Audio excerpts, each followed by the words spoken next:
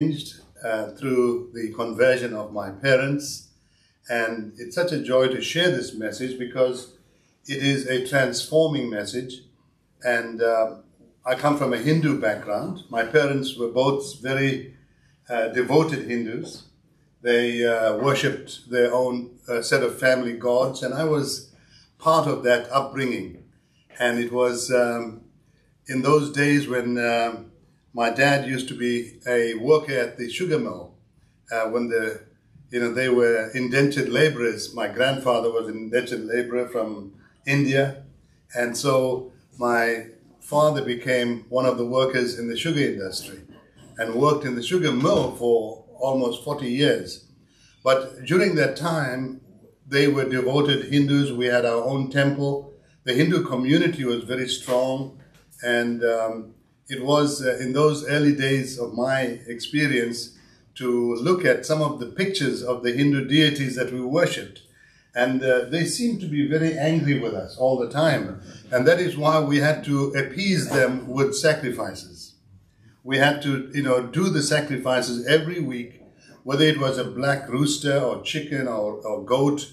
You know, that was kind of the ordinary uh, kind of way in which we brought some kind of uh, peace into the family. But my mother, who was possessed, she was possessed with uh, uh, these gods as we knew them at that time. And uh, she would get into a trance, a very, very, you know, uh, kind of experience that we as children uh, were afraid of because when she got into that trance, it was not a very good sight to see because she, her eyes would bulge out a tongue would be out, and she would be sort of in a very vicious way coming, you know, to all of us and pronouncing, uh, you know, the, the, I don't know whether it was blessings or curses, but it was actually a demonstration of evil. It was definitely a demonstration of evil because to me, the, looking back, I knew that it, these were not gods, these were demons. And uh, my dad, who was uh, working in the sugar mill, had to go to work at different times. And so he had to, you know, sort of stay up probably all night at sometimes because these um, demons would not leave. They would demonstrate their powers, you know, going on for hours. And so I, you know, I just sensed the, the, my dad was really wanting to get my mother completely set free from these spirits. And so he goes to a temple, a Hindu temple, not far from where we were living, and asks the priest over there to exorcise or get rid of these spirits. But th that priest in that the other uh, bigger temple uh, was also, you know, sort of possessed in a way. And so when he saw my mother becoming, uh, you know, uh, trance, uh, sort of in, in a trance, he would he would look at her and say, No, no, these gods are more powerful than the gods I have. So he could not do anything because the spirits were not able to exorcise the spirits out of my mother. So my dad was very disappointed. He came back home, and it was after many weeks um, that he was walking back home from, from the sugar mill that he saw a man on the roadside. It was a white man. In fact, in those days during apartheid, uh, whites were not allowed to come to black areas. And um, we were an Indian community, and no white man ever came into the Indian community. So this white man, who was a missionary to the Indian community, was speaking to a group of Zulu people on the roadside with his ukulele. and he was singing and preaching to them. And my dad, who was passing by, stopped and he looked at this man and he listened to this message that this man was preaching and he was talking about Jesus. He was talking about the love of Jesus and how Jesus healed and delivered and set people free. And my father said, I really want to know who this Jesus is. And so after the man had completed his talk, he went to him and said, please, can you come and pray for my wife? You know, she's, she's really needing uh, help. And so this great man of God who, I, who, I, who became my mentor came home to our little house and, uh, you know, we lived in a tin shack. because we were, the poverty was quite uh, visible. and so we, he walked in to the house with two of his assistants. These were Indian ladies who had been, you know, converted, and they came in because they spoke Hindi and Telugu. You know, and they were sort of the uh, assistants to the pastor that came. And as he walked into our house, my mom, who was in the kitchen, became aroused with the demon spirits, and the the spirits began to activate, you know, her, her, her body, and uh, the presence of this man in our house was so powerful because he carried the presence of God. Mm. And so my mom uh, was brought by my dad, and as he as he stood there, as she stood there with with the in front of uh, this man of God, the amazing thing happened. This man, with great authority, said to he didn't speak to my mother. He said, "In the name of Jesus, devil, we command you to leave." And he, he said that in such an authoritative way that the demons in my mother began to scream out. And it was around about 10 different screams that my mother fell down to the floor and began to froth at her mouth, and we thought she died. And my sister said, This white man came to kill our mother. and a few minutes later, my mum got up and you know asked in Tamil, the language that we spoke at home. She said to my father, "What is this white man doing here?" She had no idea what had happened. She was delivered. She was set free. And my dad said to her, "This man came to get you better." And in that moment, this wonderful man of God began to explain to them the gospel. They accepted Christ. And on the 4th of June, 1954, they were both baptized in a river. And then soon after baptism, my mother was filled with the Holy Spirit and began to speak in tongues, which was completely unknown to us. We didn't know what speaking in tongues were.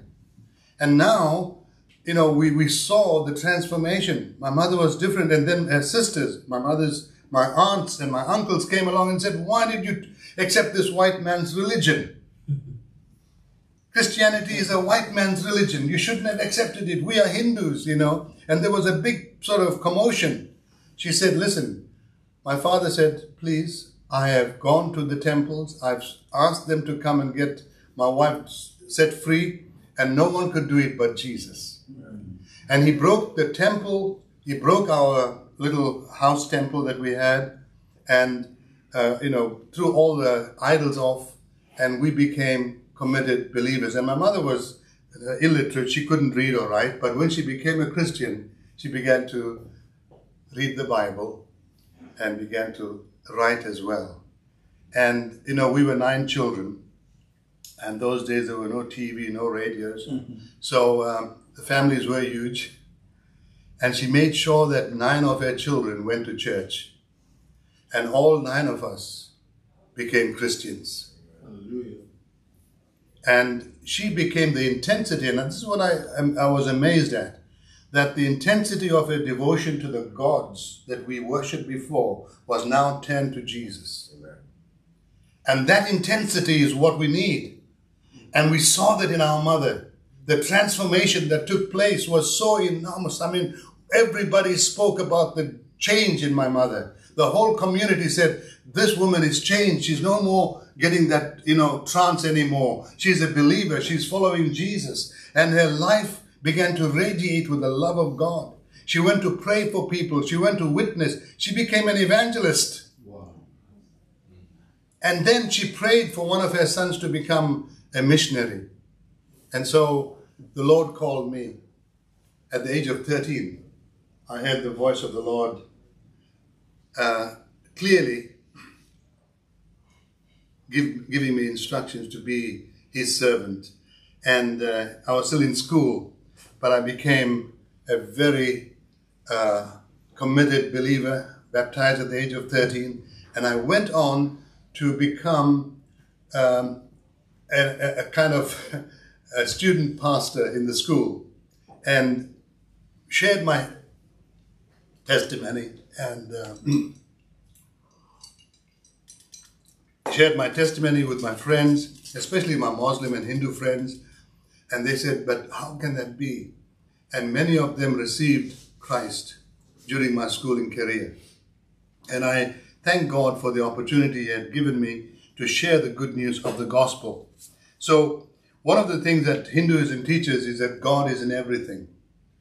Uh, the word is pantheism, where, you know, whether it's a snake, whether it's a rat, whether it's a cow, whether whatever it is, God is in it.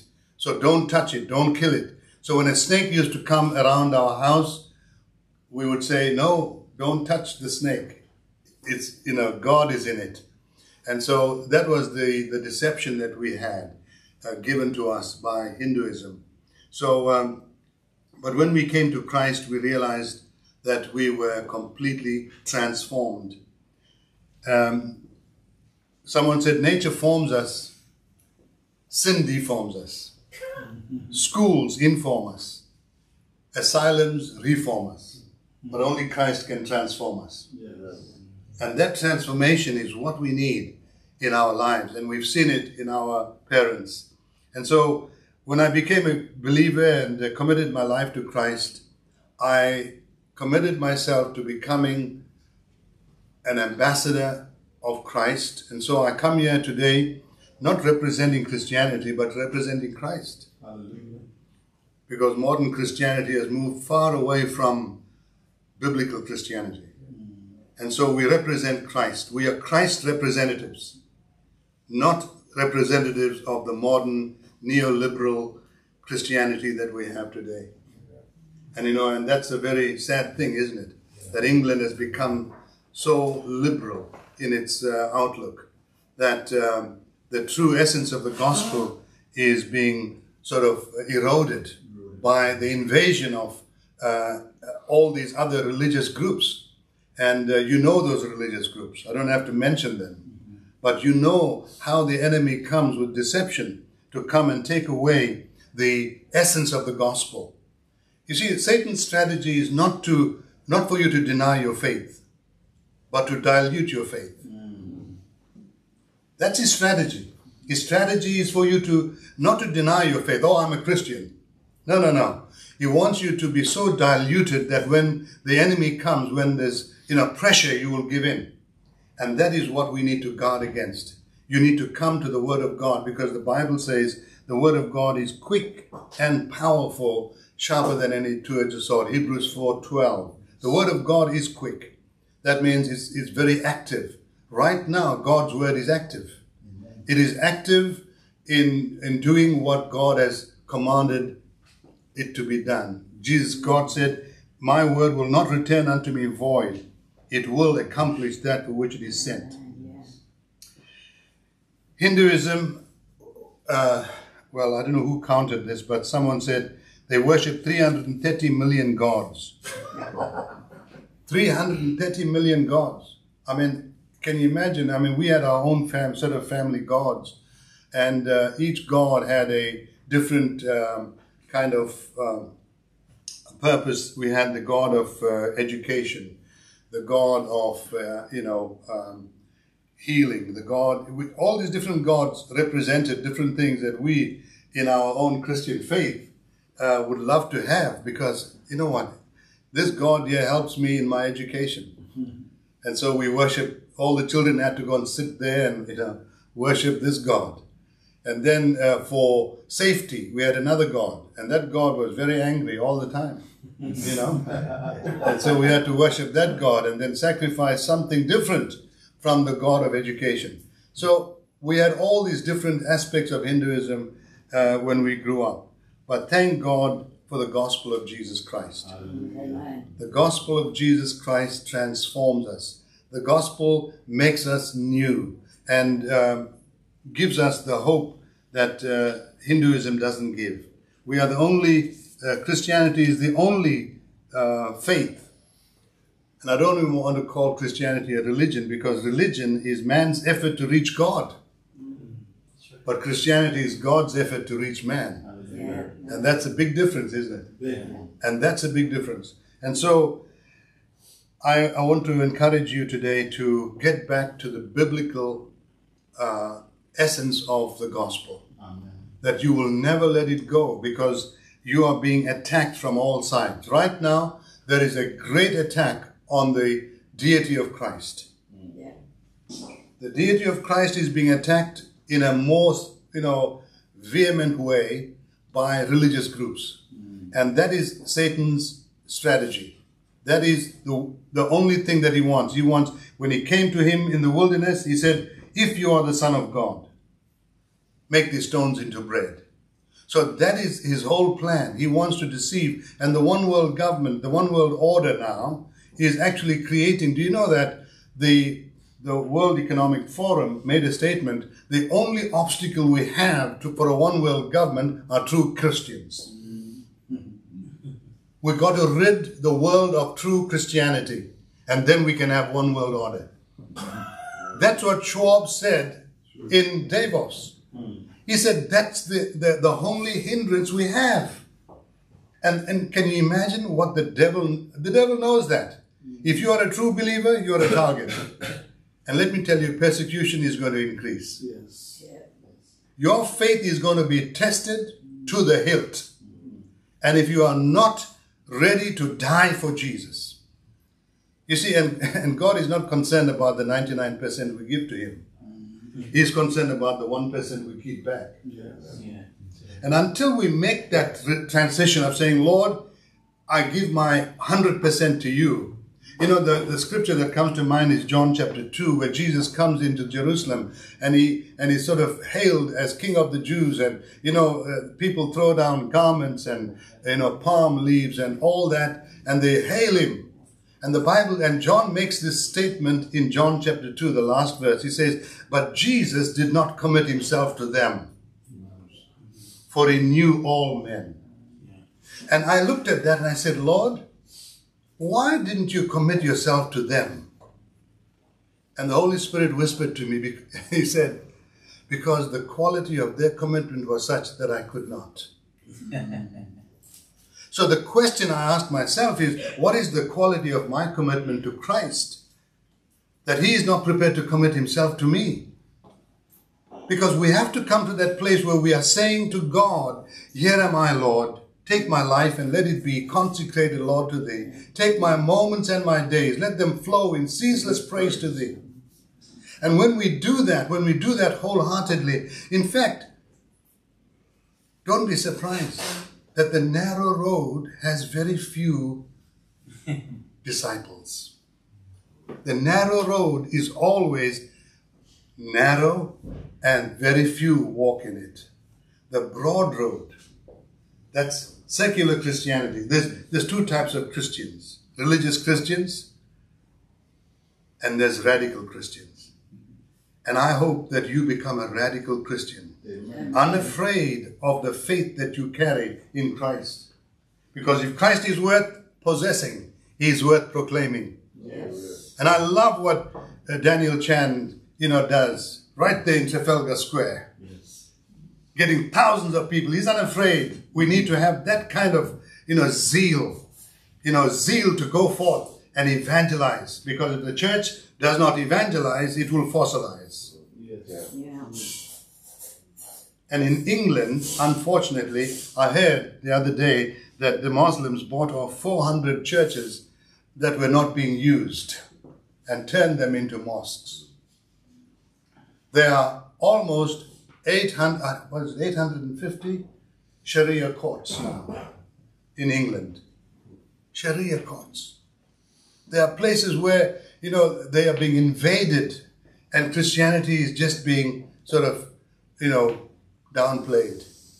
And even uh, the media sort of lifts them up and give them all the media time.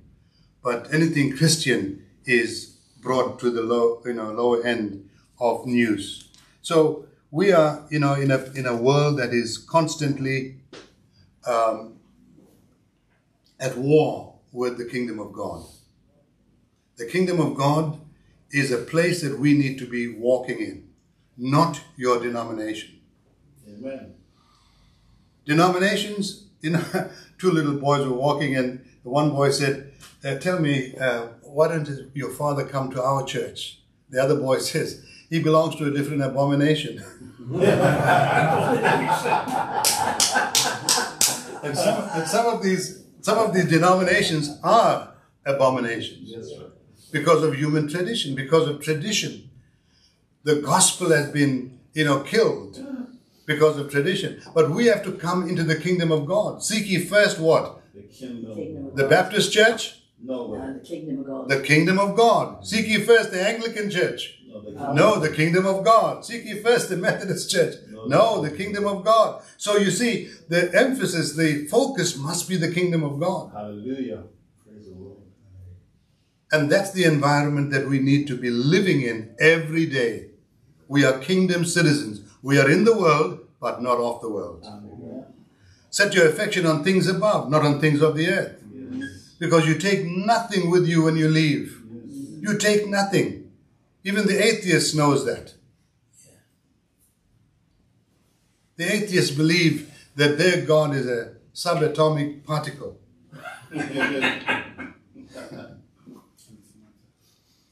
They will argue. something out of nothing.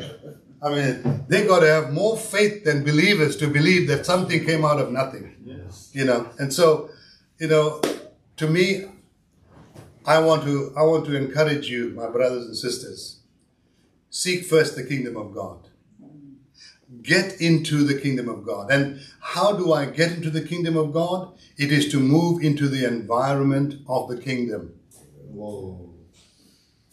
We got to move into the environment. Not the we, we, we, we are happy going into a denomination, but it is f- greater to go into the kingdom of God. The kingdom of God is within us, in in us, around us, and the fellowship of the saints brings the kingdom of God into focus. Amen. Amen. That is why when I came to England this time, I'm on my you know mission to start to to, to establish a church. We we we actually planted a church. Pastor Vince, who has been my great love and supporter in South Africa, he's been such a blessing to us in supporting our ministry. And his vi- vision has always been, let's start a new church. And he says, I'm in Bicester, come. And so we started, we launched last week Praise the Lord. and JJ was there, yeah, to help us along, and John. So we thank God that the church has begun, and um, we want to associate with other ministers of the gospel so that we can have the kingdom mentality for Bicester, so that we don't sort of work in isolation. And I don't like that. You know, in my ministry, I've been um, I've been through quite a bit. Uh, I celebrated my 50 years in ministry last year. Praise the Lord. 50 years. And uh, that's a, a long journey, but the Lord has kept me. I've never been to hospital for 50 years. Amen. Wow. I've turned 72, just a little lower than Bill. And uh, your, birthday was on Thursday, and he's just a little older than me. but thank God for His grace, isn't it? Yes. Because when you give your life to Christ, He becomes your great physician. And um, yes, my journey took me through uh, quite a number of ministries. I started with YWAM. I cut my teeth with Youth with a Mission uh, as a missionary to Madagascar, Mauritius, and Seychelles. And those were the early days. And then when I got back to South Africa, I became a pioneer for Scripture Union mm. and I worked in schools helping Scripture Union groups to be established in all our Indian schools. As you know, during apartheid, we couldn't go to any other school. We had to do it in the Indian schools. So that was my, my task.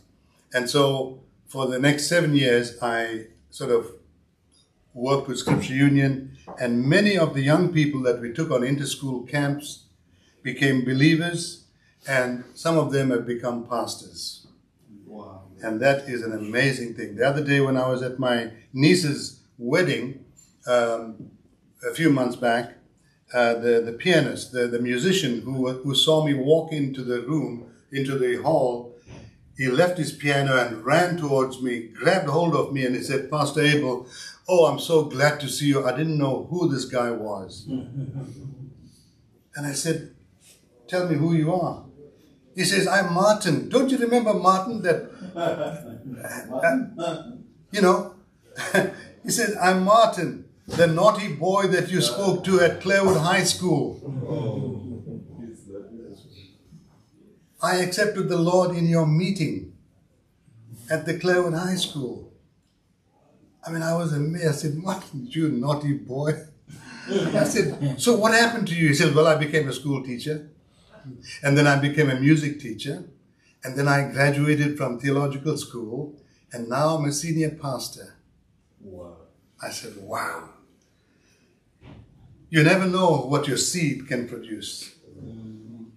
The seed that you sow is so important. Never miss an opportunity. Get hold of every opportunity you have to share the good news of the gospel. Amen. In Oxford, when I was just uh, walking the other, uh, not when I was the last time I visited Oxford, I saw a man sitting with his guitar. He was, he had his little, you know, cloth over there for donations. So I sat next to him, not far from uh, uh, the center of Oxford, and um, I sat next to him and I, I said, "Oh, I love, I love your guitar," and he said, "Oh, that's nice. You do you play?" So we got on con- conversing, and then I shared with him about my testimony, and he said, "Wow, this is great." And then I prayed with him, right there on the street, and said, "You need to accept the Lord," and he agreed with me, be it, you know, and uh, you could see that he's been through quite a long journey in his life. But you see, you never miss an opportunity. Amen. The transformation that took care, uh, that took place in my parents has been a great pillar of strength to us. The intensity of worship that my mother had for her own gods was now turned over to Jesus. And the Lord has come to us, and we are saying, the kingdom of God is a place that we need to be in. And this, and I want to close with this: that this, there's three environments that that the the Holy Spirit showed me, and um, you can be living in any one of those environments. The first is the world. The world environment is a um, an unrighteous environment. And uh, when you live in the world environment, unrighteousness will always be dictating your thoughts and causing you to fall. Then we have the religious environment. The religious environment is a self righteous environment. And what religion teaches is we'll put on a new coat over you, we'll make you look good. You go to church, you be a religious Christian, you know. That's your religious environment. It's a self righteous environment. But then you come to the kingdom of God, which is a righteous environment. But I found that many people vacillate between kingdom and world. And that's a problem. That is a big challenge. So we need to be very careful that we don't vacillate between the kingdom of God and the world system. Yes. We need to be in the kingdom of God. If you are in the kingdom of God, be a citizen of the kingdom. And unfortunately, and this is my last statement, as preachers always say, the church has become an embassy for the kingdom. The church has become an embassy. Why do I say that? Because we have a lot of people applying to get into the kingdom, but the staff of the embassy keep them in the embassy for the rest of their lives, never letting them experience the kingdom. They'll have conferences about the kingdom. They will take you on a three day window shopping of the kingdom. But I tell you, they never get you into the kingdom because if they do that, then they lose what they're looking for. So we need to be careful that the shepherds that we have are kingdom minded shepherds Amen. and not shepherds who are focused on, you know, making themselves rich. And you know what's happening right now. Big names are falling down. Mm-hmm. Big names in ministry are coming down. The judgment of God has started in the house of God. And we need to be aware of that, that we don't move away from the essence of the gospel. The essence of the gospel as the New Testament has given us. The relationship with Jesus Christ.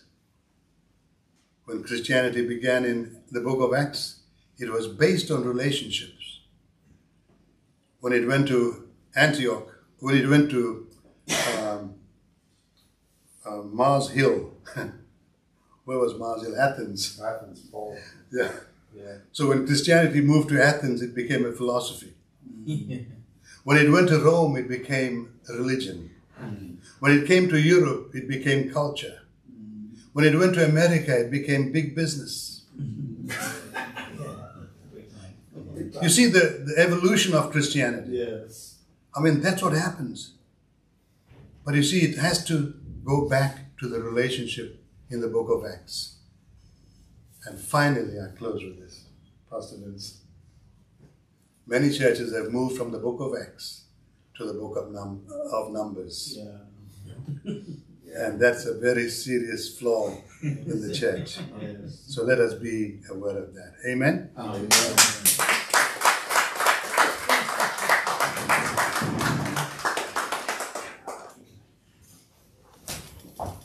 Praise the Lord.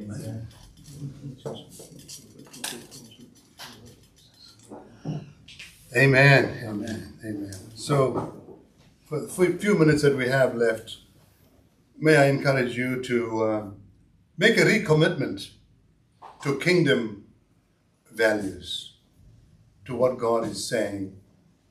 And if you have not done that, then I invite you and I'll pray with you.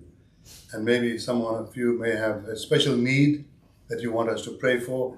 We'll pray with you and let God bring great uh, deliverance and joy into your life.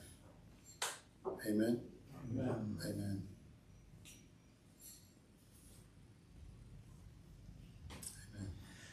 Amen. Sorry. An invitation with a camera.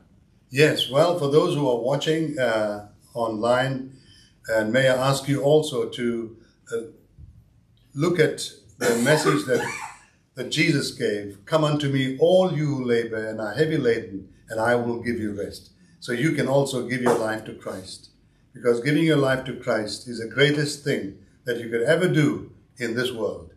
So I invite you to give your life to Jesus, and may the grace of God give you the strength to become sons and daughters of the living God. Amen. Amen. Amen. Amen. So if there's anyone who needs prayer, please don't hesitate. Come, we'll pray with you, and um, we don't want to miss that opportunity. Amen. Amen.